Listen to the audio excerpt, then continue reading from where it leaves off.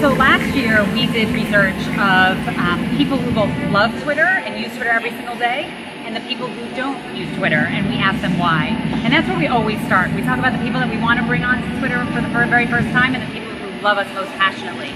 And so what we found from the people who love Twitter and use it every day is they said the same thing about why they love it. And that is because Twitter is what's happening. And it shows them what's happening every minute of every day. When we spoke to the people who don't use Twitter, what they told us was they don't know what Twitter is for, and they're confused, um, and that they think that we're a social network and a place for family and friends to connect, which is obviously very different than the core essence of what we are. So that's when we rolled out the positioning and the new thematic around being what's happening and seeing what's happening, and Twitter showing what's happening every single day.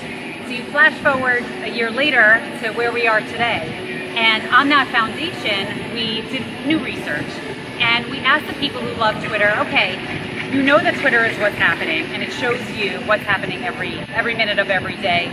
What makes Twitter unique? What makes Twitter different and special? And what we heard from them was very, very powerful, we thought, which was Twitter lets you see all perspectives, all sides, all voices of every single topic that I care about. And we wanted to bring that feeling and that, es that essence and that insight to people all over the world. So that's where we uh, launched our new campaign today, which centers around seeing every side.